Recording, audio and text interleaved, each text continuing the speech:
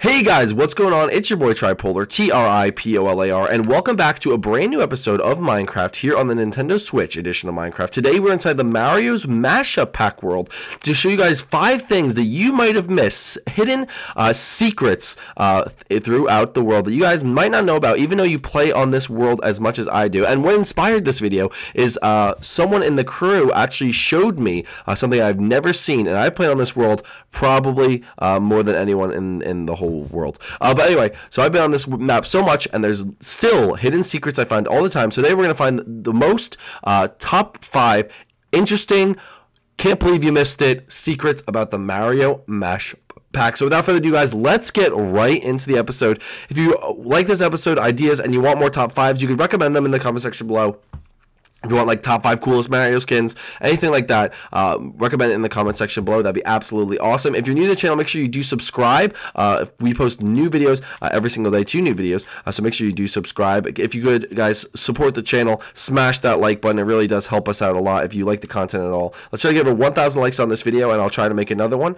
Uh, and guys, um, also, you if you want to check out my Instagram, Twitter, uh, we do ex exclusive live streams over there, polls, behind the scenes type of stuff. So if you want to. Links in the description. Also, March merchandise is out now. Go check it out. But without further ado, guys, let's get right into this with number five. Number five, the Hidden Bowser.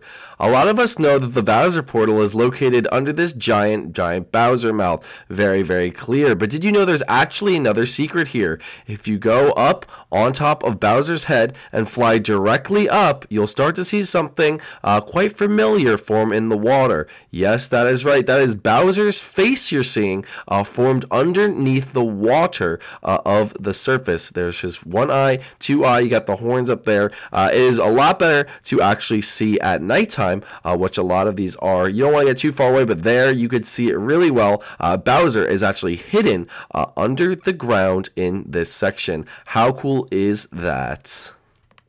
Number four, the hills are alive if you walk around the Minecraft world enough, you could say that there's a little interesting, something interesting about the sort of landscape you could be walking on.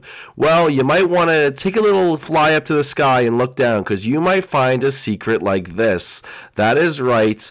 The land actually forms here different kind of pipes, and one pipe even has a piranha plant coming out of it. This was all formed from the landscape. Now, there's a lot of things we recommend you guys go throughout the Mario world and look up because you can find other things hidden in the water, uh, such as bricks or certain blocks. Uh, but this is one of the cooler things you can find right by the piranha plant right there in the pipe. Uh, you actually have the silhouette, and you have pipes over there and pipes over there as well. So, do you guys know about this one? Let us know in the comment section below, and let us know what else you guys found in the water. Because actually, right up here, if you come up a little bit further and you look down, you will see a question mark block uh, with two little. Um, bricks as well. And then over here, uh, you can see there's a fire flower in the ground. And on this side, there is actually a toad uh, head in the ground, like a little power up in the ground. So, what else can you find in the world? Let us know in the comment section below. But uh, you might want to take a little aerial tour uh, of the above world to go check it out and see uh, what sort of secrets you are missing. Number three. Underground Retro.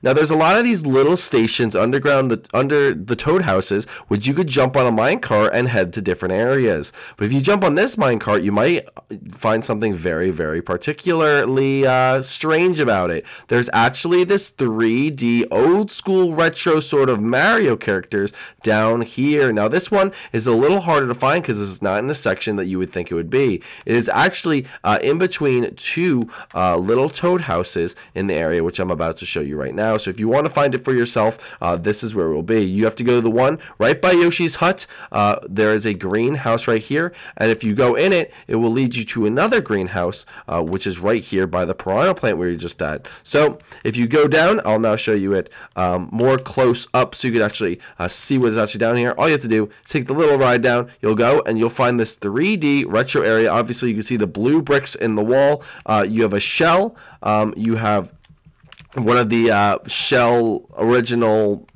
uh, I don't know what they're called, but uh, enemies, and then you have a Goomba. Oh, Buzzy Beetles, thank you.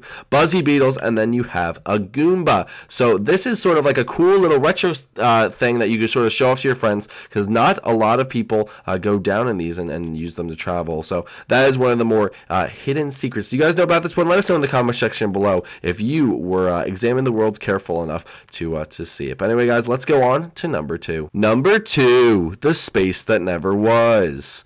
In building a world like this, you have to say that the teams at 4J had a lot of work to do planning it all out, making the projects uh, could be a very, very time consuming and hard task. So it's not surprising that some of their original plans got canceled, and I think that's what happened right here. If you go right to the spawn area, right side of the Super Mario big logo and the original spawn house, and you dig directly down under the sand, you might something find something a little bit peculiar. A large dug out corridor, perfect square corridor. Now clearly this was originally supposed to be used for something uh, that they were going to put down here, whether it was going to be sort of a retro area, or maybe sort of like a Captain Toad's mining area, or maybe a Wario mine. I don't really know, but you guys can come up with your own theories down below. But I don't know what this was going to be used for, but clearly um, this is just too bizarre to not be used for something. Probably a canceled project of some sort, but nonetheless a very very cool piece of uh,